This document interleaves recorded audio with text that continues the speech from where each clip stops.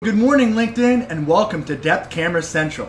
I received two brand new sensors this morning. One is from Occipital, is the new core sensor, which is the upgrade from the old structure system, and this is the new Intel D435i. Let's jump into that Intel system first. So what you guys see here on these four streams is two individual cameras that I have set up through the Intel RealSense viewer.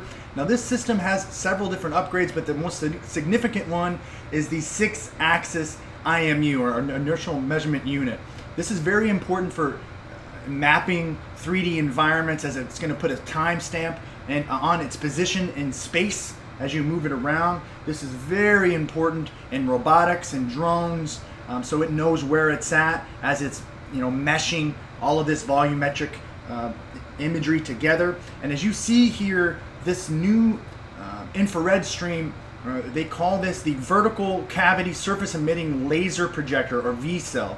And you also have a left and right side Im imagers for stereo vision. And then you have a, an RGB color sensor uh, on the front there. And, and, the resolution on this, it goes down to about 0.2 meters and it can scan environments up to 10 meters wide with a resolution about 1280 by 720 at up to 90 frames per second. Right now I'm only running this at 30 frames per second but the, the, the Intel sensor utilizes a 28 nanometer Intel D4 vision processor, and uh, that's for the depth data, and then a Realtek color image processor. Um, for the for the VCSEL system, it's very very small. It's only about two and a two and a half, 2.7 millimeters by 1.8 millimeters, and it can record up to 60 frames per second. Now OmniVision supplies the three image sensors uh, and, and, a CMOS 1080p RGB sensor. It also has a twin one megapixel sensor for the left and right side imagers. Uh, this is, I mean, if you can kind of take a look at this here, look for the resolution wise, if you're comparing it to other sensors, this is incredible. I have two, both of these depth streams set up for different uh, you know, different parameters. One is set up for accuracy, one is set up for density, and then I have some other filtration and hole gap algorithms on each individual side. But what we're going to do next in the next video series of this is stream three of these together. This is my third one here, the two are in front of me, and we're going to combine all that information together to generate a very highly accurate um, 3D volumetric capture that we can output to the Magic Leap. So that's going to be a really fun test uh, to, keep moving forward.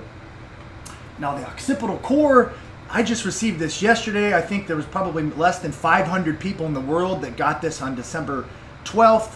And this is the upgrade to the old occipital structure. So you can kind of, you guys can go back the last two weeks. Everyone's asking me, well, why you guys, why are you reviewing this structure sensor that's four years old? Because I was leading into this. I was really excited. I wanted to review for everybody the technology um, for this old sensor that they have, which I still use. I mean, for 3D scanning and for various other applications, which I showed you in those previous videos, this still works. It hooks up to the old iPad, but the new one has a USB-C input port. I think it's 1280 by 900 resolution. It also has a laser scanner, a six-axis IMU, and this technology is being used by Kura, a, uh, augmented reality a transparent heads-up display down in San Francisco. It's also being used in the Misty 2 robotic system. So I didn't buy the Misty 2 robot, I just wanted the sensor. I do still want the robot, so we'll, see if we can get that in the future.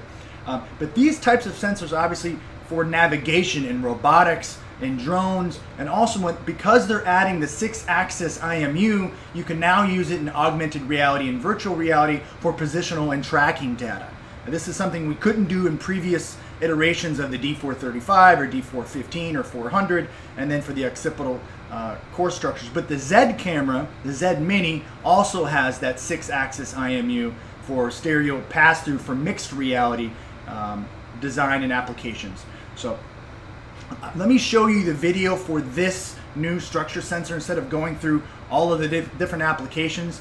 I thought it might be pertinent to show you guys what this looks like from their video. So let's go ahead and get that started right now. Structure Core has everything built in. A 160 degree visible light camera or an 85 degree full color camera, a six axis IMU that can stream at over 1000 hertz, all in perfect sync with a next generation active stereo depth engine.